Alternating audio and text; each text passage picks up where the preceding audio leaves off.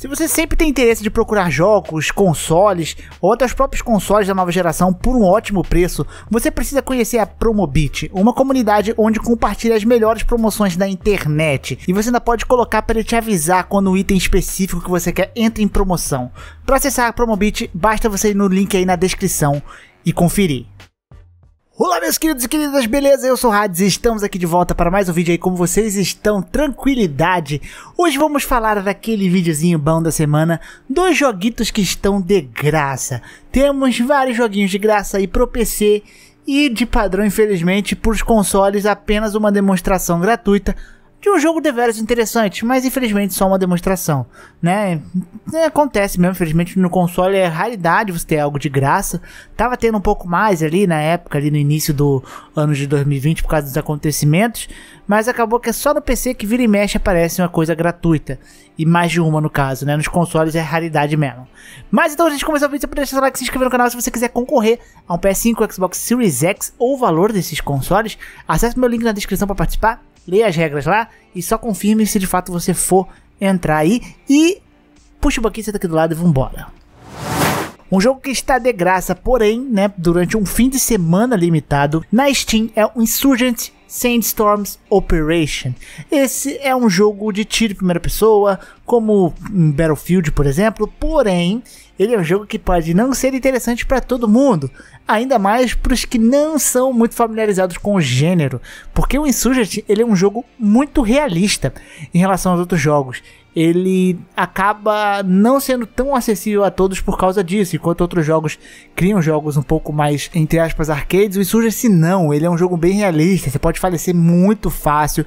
Você tem toda a questão de peso, de equipamento, que vai você andar mais lento, você se estabanar mais. A, o recuo das armas é uma parada que leva um tempinho para acostumar, porque é uma parada bem diferente.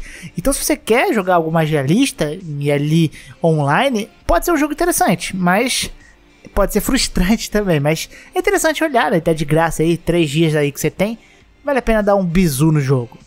Outro jogo que está aí 0800 é o The Tomorrow War, ele está lá no Indie Gala. Ele é um jogo bem simplesinho em questão de gráfico e é um jogo que explora aí exploração espacial, né, intergaláctica, onde você vai participar de operações locais, em batalhas espaciais ali, encontrar raças alienígenas, blá blá blá, para quem curte mais esses jogos aí de ficar viajando entre sistemas solares, planetas, né? E descobrindo raças. É um jogo interessante, pode ser interessante, pode ser aí divertido, se você ignorar o gráfico dele bem datado. Mas é 0800, né, meu amigo? Outro joguinho simplesinho da semana que está aí é o En Racing. É um jogo de corrida de nave, onde você, além de correr, você pode ali atrapalhar o computador, né? É, atirando nele mesmo.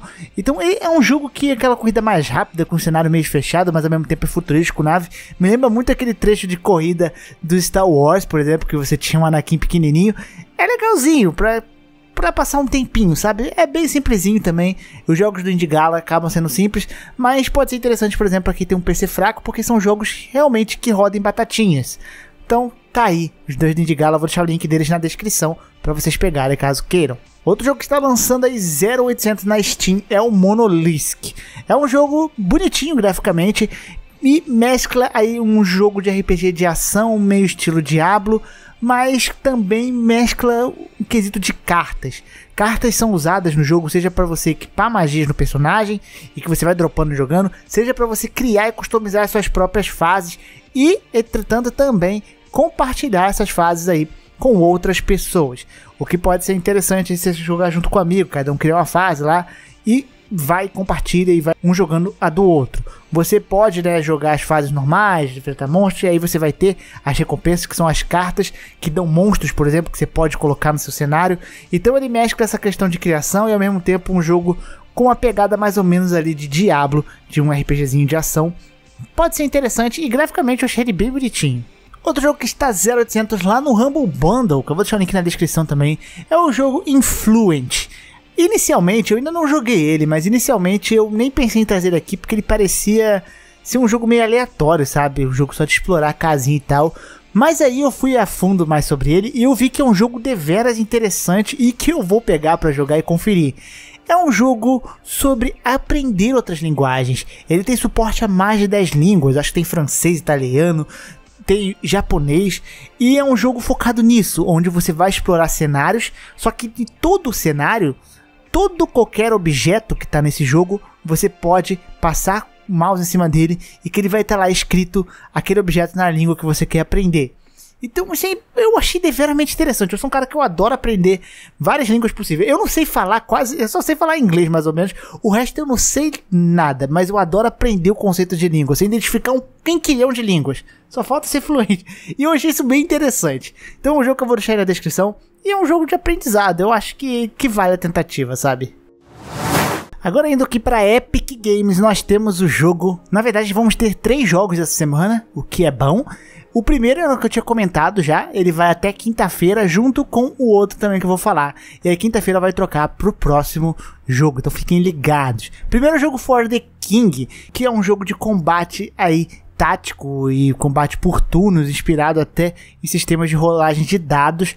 Ao mesmo tempo, ele mescla com elementos roguelite. Então você tem aquela questão de você voltar tudo e o mapa nem sempre ser o mesmo, e você tem essas modificações, mas ao mesmo tempo você tem uma progressão mais rápida que um roguelike, né? Um roguelite, ele você sente se progredindo mais rápido.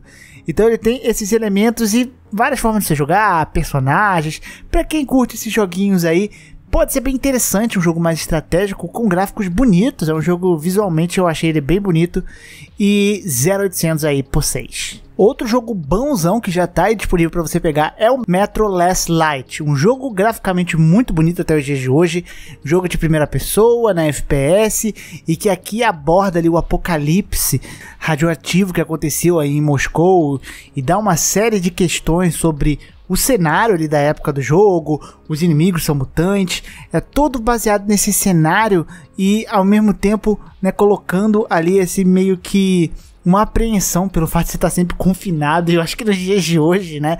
Eles vivendo em metrô ali, é quase uma, uma ficção imitando a realidade. Não, não chegamos nesse nível, ainda bem. Mas é um jogo de veras interessante, muito bonito e imersivo para você jogar é um título muito de peso aí que está sendo dado de graça aí para vocês pegarem. E na semana que vem, por enquanto só temos um, não sei se vai entrar outro jogo ainda. Nós temos o Halicon 6. Esse jogo ele é um jogo de RPG retrô de estratégia espacial. Então é um jogo em que você, a humanidade está ameaçada e você achou uma base que era usada por alienígenas antigos. E a sua missão é basicamente essa, reconstruir a base. Então é um jogo que ele tem elementos de construção de base, você vai reconstruir, pegar elementos, né, e construindo, melhorando a sua base, vendo as salas, a estação ela progredir ao mesmo tempo que você vai explorar, fazer explorações espaciais, você vai ter os combates, aqueles combates bem estilo RPG mais antigo mesmo, e você vai gerir tripulação, né? Colocar tripulação para cada tipo de coisa, ver ali, blá blá blá. É um joguinho bem completinho desses jogos futuristas com gráficos 2Dzinho bonitinho. É um joguinho que eu acho que é aqueles que você passa muito tempo assim quando você vê, caraca, já joguei 4 horas esse bagaço. Porque esses jogos de gerenciamento assim realmente te prende por um bom tempo. É um joguinho basiquinho, mas deveras interessante. E infelizmente pro console nós só temos uma demo que é do Immortals Phoenix Rising. Esse jogo lançado pela Ubisoft que ficou meio obscuro, ele foi lançado junto com Cyberpunk praticamente, o que ofuscou o jogo total, mas que é um joguinho legal, sabe? É um jogo que tem uma demo mais ou menos de uns 40 a 50 minutos, dependendo do, da sua exploração nela, e que ele vai mostrar um pouco mais do mundo do jogo, que é um RPG de mundo aberto, com mitologia grega, tem uns inimigos bem gigantes. Ele lembra também muitos elementos de Zelda Breath of the Wild, por exemplo. E a demo, interessante dela, é que ela é uma parte do mapa foi feita só para essa demo. Então tem, tem chefezinho, tem o mapa ali dela. Então você vai ver uma coisa diferente do jogo do que o jogo base, ou seja, não dá para você continuar de onde você parou da demo, mas dá para ter um vislumbre do Immortals Phoenix, que é um jogo que eu acho que foi, foi pouco conhecido e é um jogo legal e que ficou ofuscado, sabe? Mas felizmente só temos uma demo e mais nenhum jogo de graça aqui. E meus queridos, esse aqui é o vídeo, espero que vocês tenham gostado. Se vocês gostaram, não esqueça de deixar seu like, se inscrever no canal. Muito obrigado pela atenção, visualização, um grande beijo, grande abraço. Eu fico por aqui, um beijo no popô. É nóis e fui!